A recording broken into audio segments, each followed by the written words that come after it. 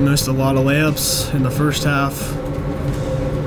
Missed obviously a lot of free throws in the first and second half. Turnovers, had too many turnovers.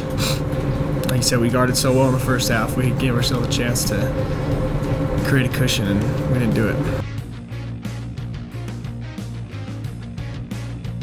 First half, I thought we were tremendous defensively.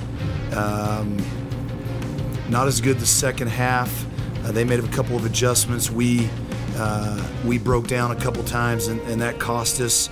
Uh, too many fouls, even really before we started trying to foul them. But just um, we're we're a solid team for stretches. We've got to be a solid team for longer stretches, and and we'll get there. We're we're we're getting healthier.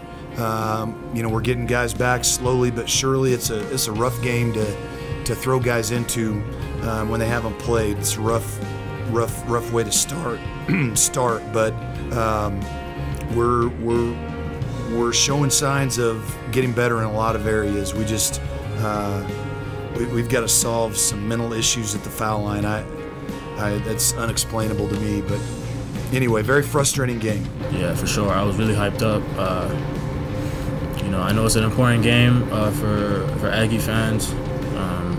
I just I, I gave everything I had. You know, so I just laid it all on the line, and you know, I, I tried to give you guys.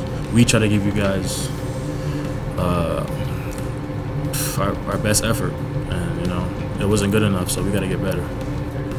It was amazing. Um, I, been, I was so nervous because there was so many people there, but you know that was the best crowd I've seen a while. So you know, I'm, i appreciate the fans that came out and supported us. Um, I'm sorry we couldn't do better, uh, but you know, I appreciate the support we get um, from our school and our and our classmates.